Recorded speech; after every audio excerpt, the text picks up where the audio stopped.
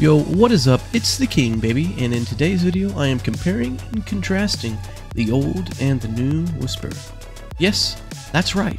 Whisper got a buff in this patch, and it's a good one. Let's dive in. Really quick though, can't tell, yeah, I got the flu. So, voice is gonna sound weird.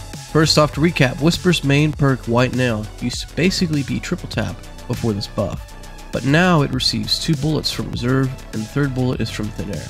On top of that, Whisper got a 10% damage buff, and the Catalyst now activates in 1.2 seconds instead of 2.1 seconds. Basically, Whisper is looking very good. But how good? Well, let's compare the numbers. As you can see, Whisper's body shot damage does 8,670 damage before the patch, and it does 30,344 damage to the crit spot without Whisper breathing proc. And finally, it does 40,929 damage to the crit spot with Whispered Breathing proc. Overall, for a heavy weapon, it isn't that bad for damage, but considering its main perk White Nail was just triple tap, which is found on legendary weapons I might add, it just wasn't worth the hassle to use when there were much better options.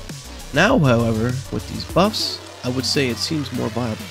Let's take a look at the buffed Whisper's damage. So, you can see here, Whisper now does 45,343 damage with Whispered Breathing proc, compared to 40,929 damage in its pre-buff state.